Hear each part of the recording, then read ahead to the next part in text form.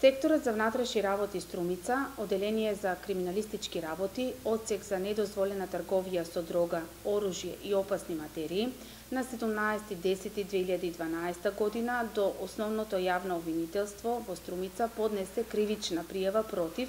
СЈ 23 годишен од Струмица, поради постоење на основано сомневање дека пријавениот сторил кривично дело, неовластено производство и пуштање во промет на опојни дроги, психотропни субстанци и прекурзори, предвидени во член 215 од Кривичниот законник на Република Македонија.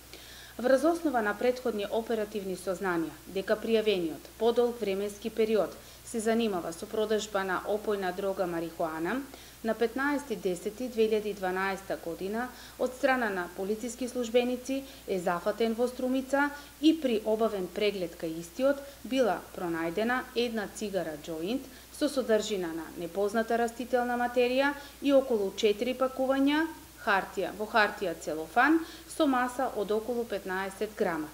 На предлог на секторот за внатрешни работи во Струмица и основниот јавен обвинител и истражниот судија од Струмица е обезбедена наредба за превземање на за примена на посебни истражни мерки од превземените посебни истражни мерки при претрес во домот кај пријавениот била пронајдена непозната растителна материја со маса од околу 7 грама спакувана во три хартиени пакувања.